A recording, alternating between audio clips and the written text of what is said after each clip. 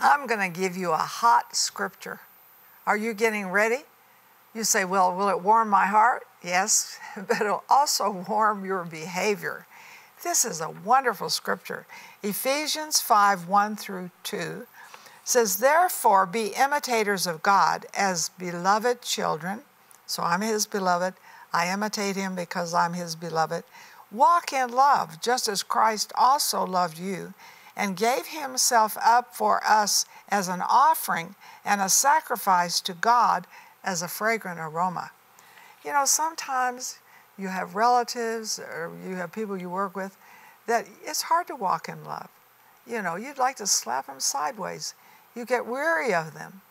But he is saying, walk in love and not in your ability, but in Christ's ability. Christ did it, and he lives in you, so he can live in you through this. So many years ago, we had a woman who came to our church that just caused a bucket of problems. And she moved away. I thought, thank God we're rid of her. And so if she came to my mind, which she did on occasion, I would say, well, I forgive her. And so I did that. I don't know, maybe 20, 30 times I forgive her.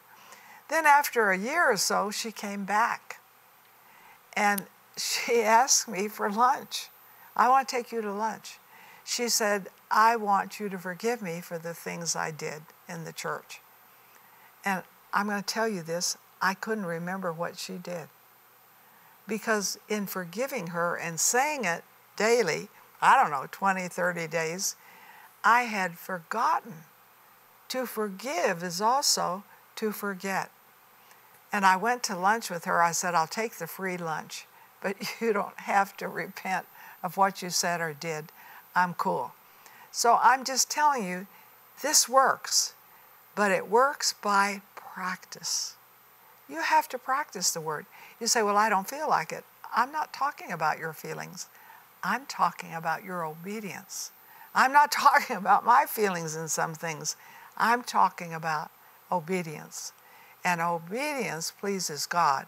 And I notice when I obey and I keep obeying, my feelings follow the obedience. Is that good news? That's good news.